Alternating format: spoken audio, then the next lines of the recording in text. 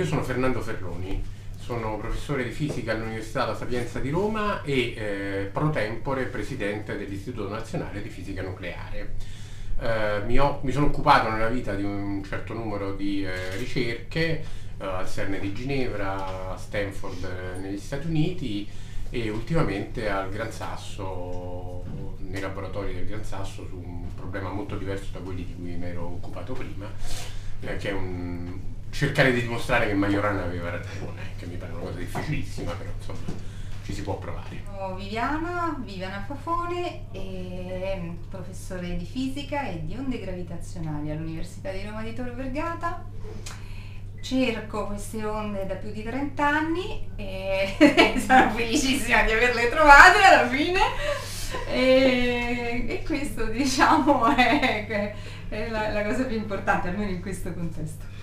Che cos'è l'INFN a questo punto? Una comunità di um, 2000 dipendenti di cui un migliaio sono uh, ricercatori e ingegneri, un altro migliaio sono tecnici e amministrativi, eh, supportata da un numero equivalente di professori, ricercatori, studenti, dottorandi, eh, postdoc universitari che partecipano alle nostre ricerche e noi ci occupiamo diciamo, di quella che si chiama, una volta era solo il microcosmo, adesso ci occupiamo anche del cosmo, andiamo dalle particelle elementari ai fenomeni generati da, nell'universo, per esempio le onde gravitazionali, per esempio i fotoni che vengono, la luce che viene dalle catastrofi cosmiche. E, e poi la, ovviamente la nostra base principale è al CERN di Ginevra dove prima o poi abbiamo scoperto il bosone di Higgs, prima o poi spero che scopriremo qualcos'altro. Insomma. Fare ricerca nel campo della fisica in questo momento storico è più importante o più di moda? Ah, Dunque, è una domanda bellissima perché ad una persona che da più di 30 anni cerca qualcosa con gran parte della gente intorno che diceva tanto non vedrete mai quello che stai cercando, allora io escluderei proprio che questa cosa, almeno fino a poco tempo fa, fosse di moda. Quindi no, direi che veramente per passione. Beh, diciamo io sono, cer- sono, certa, come si dice a Roma, e mm, quindi lo faccio da... sono laureato più di 40 anni, quindi insomma diciamo dire che lo faccio per moda mi sembrerebbe veramente quasi, quasi offensivo, quindi direi che lo faccio per passione e credo che tutti gli altri lo fanno per questo. Quando si è accorto che la fisica poteva essere il campo di studi e poi una possibile o probabile carriera, allora, sulla carriera, come noto, diciamo, è meglio non pronunciarsi, i meccanismi della carriera sono particolarmente complessi. Eh, quando mi sono accorto che la fisica era una, una, una, una, disciplina che avrei potuto seguire con entusiasmo è quando da bambino giocavo con le biglie, quelle di vetro, e giocavo su un mobile che avevamo a casa, insomma, che era abbastanza lungo e stava in sala e siccome tutti i mobili un po' lunghi era imbarcato e tra lo specchio che era di moda a quel tempo sopra e la, diciamo, la fine del mobile c'era una, una fessura. Io mettevo le biglie da una parte e le vedevo andare e risalire dall'altra parte.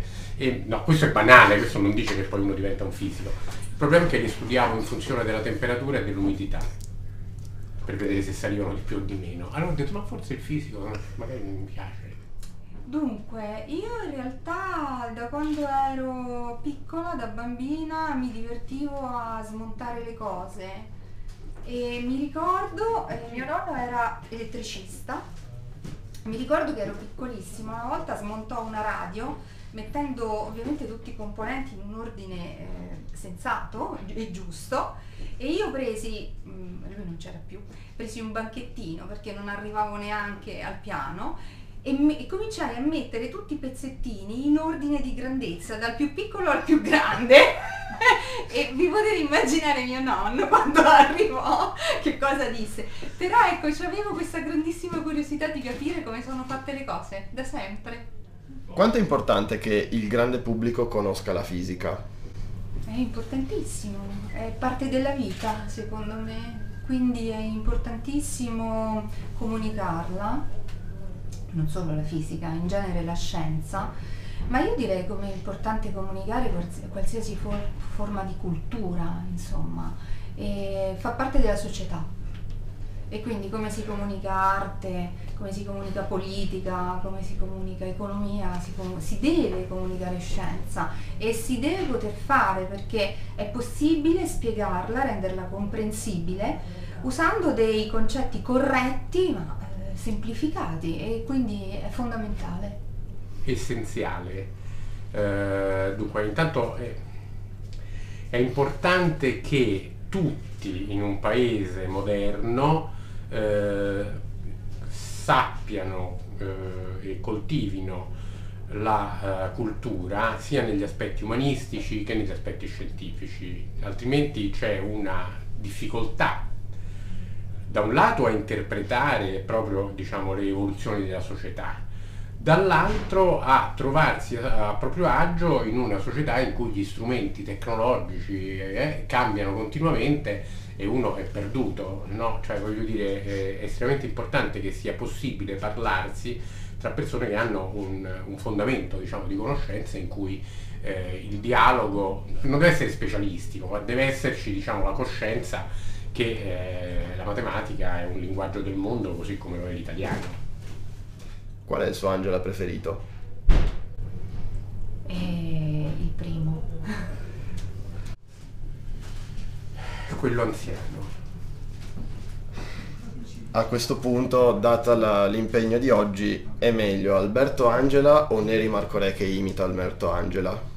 Eh no, quello è chiaro che se uno è in grado di imitare un altro è meglio, scusate, voglio dire, eh no, questo, questo diciamo non c'è dubbio. E, beh, diciamo, visto che il suo spettacolo seguirà immediatamente questo nostro, diciamo, per oggi è meglio ne rimarco re.